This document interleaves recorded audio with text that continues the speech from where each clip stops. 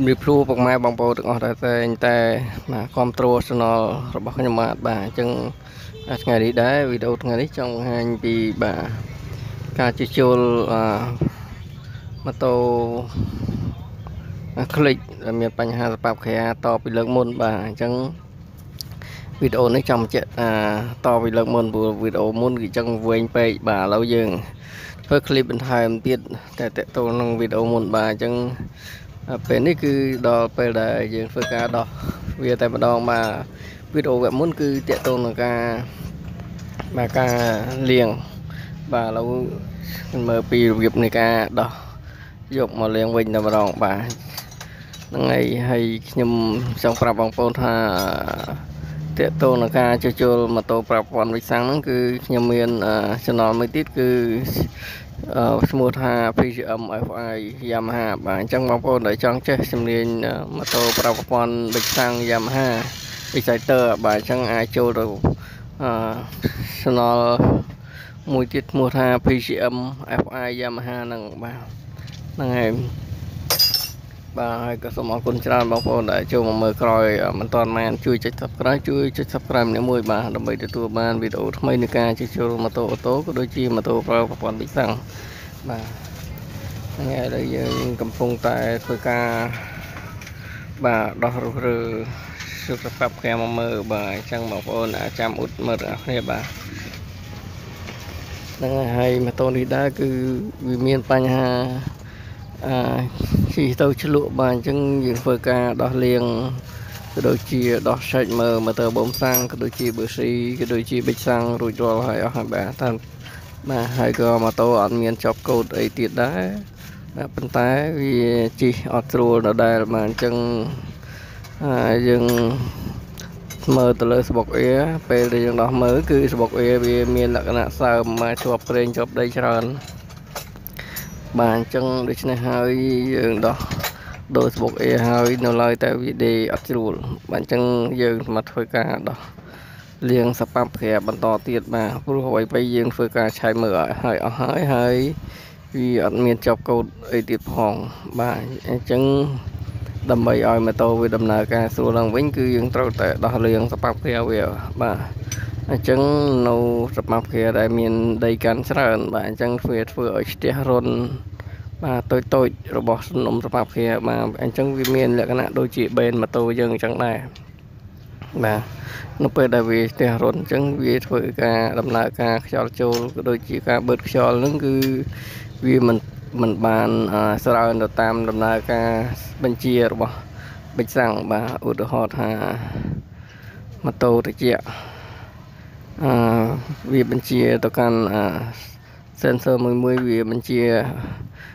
ប្រាប់សញ្ញាទៅកាន់បាទ ECM ម៉ាញ៉េតូឲ្យបញ្ជាភ្លើងក៏ដូចជាការបញ្ជាការបាញ់សាំងបាទអញ្ចឹងវាបញ្ជាមកវាអត់ត្រូវជាមួយនឹងខ្យល់ដែលបានចូលបាទក៏ដូចជាសីតុណ្ហភាពខ្យល់ដែលបានបឺតចូលនឹងគឺវាអត់ដឹងថាម៉ូតូនេះត្រជាក់ឬក៏ក្តៅអីយ៉ាងណាវាបញ្ជូនសញ្ញាទៅវាអត់ត្រូវបាទ អញ្ចឹងយើងមកធ្វើការដោះលាងសម្អាតវាស្អាតមកបាទវាអត់មានដីកាន់អីទេអញ្ចឹងវាអាចដឹងថាសីតុណ្ហភាពម៉ូតូកំណៅខ្យល់ដែលបឺតចូលនឹងគឺវាដឹងត្រជាក់ក្តៅហើយវាបញ្ជា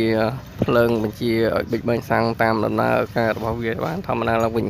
បាទអញ្ចឹងយើងដោះមកមើលបាទនេះដីកាន់បាទដីកាន់ឡើងខ្មៅហើយបាទវាមានកញ្ញោមខ្មៅខ្មៅកក បាទទៅតែហិតរនបាទទៅតែហិតរនហើយបាទជាតែរនខ្យៅក្រងទីតែម្ដងបាទបាទអញ្ចឹងបងប្អូនមើលកបេនគឺវាមានលក្ខណៈស្អាតណាស់បាទនឹងសស្គូវាអត់មានកាន់ដីទេបាទប៉ុន្តែវាកាន់ដីត្រង់តែកសម្រាប់ក្រាទេបាទអញ្ចឹងអញ្ចឹងអេសើមអញ្ចឹងអេសើមវាបើកដីមកកាន់ជាប់ខ្លះខ្លះនៅចំណុចសភាប់ក្រា បាទលើយើងមើលធ្វើការដោះមើលទាំងអស់គ្នាបងប្អូនបាទ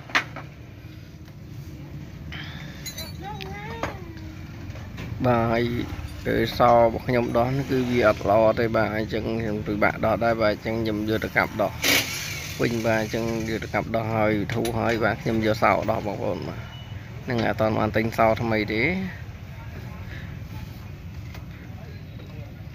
បាទហើយកន្លែងនេះគឺវាលក្ខណៈតឹងតិចបងប្អូនណាយកទៅលវិកោះបាទ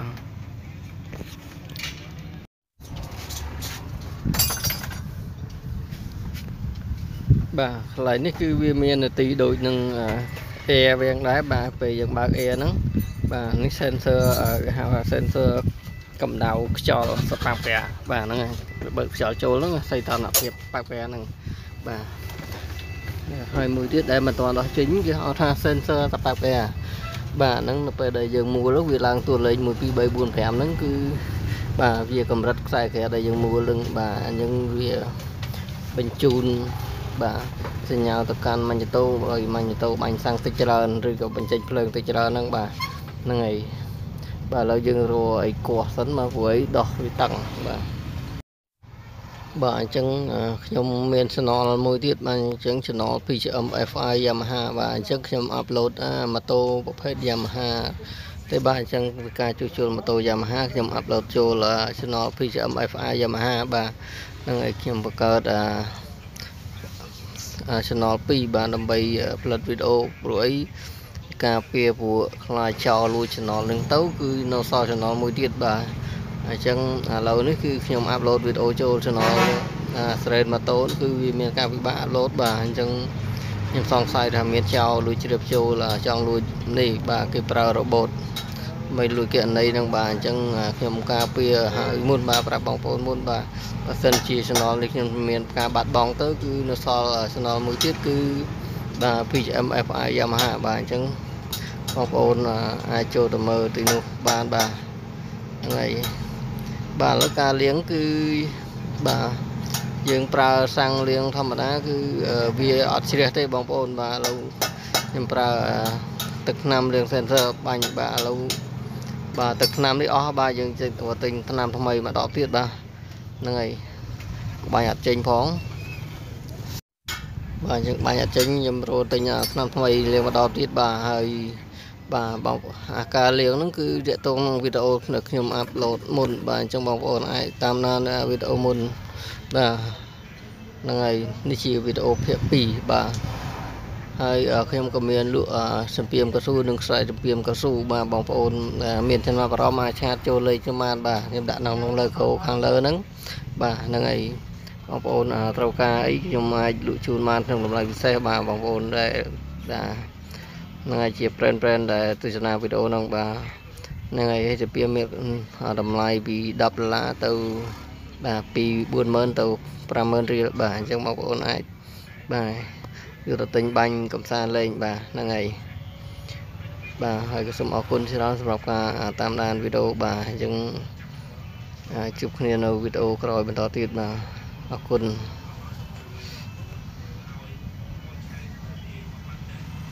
បាទហើយបន្តពីនេះទៅគឺយើងនឹងធ្វើការបញ្ឆេះបងប្អូនមើលបាទអញ្ចឹងធ្វើការជួសជុលរួចហើយបាទអញ្ចឹងដល់លក្ខណៈធ្វើតេស្តបញ្ឆេះមើលបាទអញ្ចឹងបាទវីដេអូចុងចប់នេះគឺការបញ្ឆេះឲ្យមើលបាទខ្ញុំអត់បានថតបន្តពីពេលដែលយើងធ្វើការដាក់ទេបាទហ្នឹងហើយឥឡូវទៅជួសជុលរួចហើយបងប្អូនបាទប៉ុន្តែបន្តដាក់មុខទេបាទ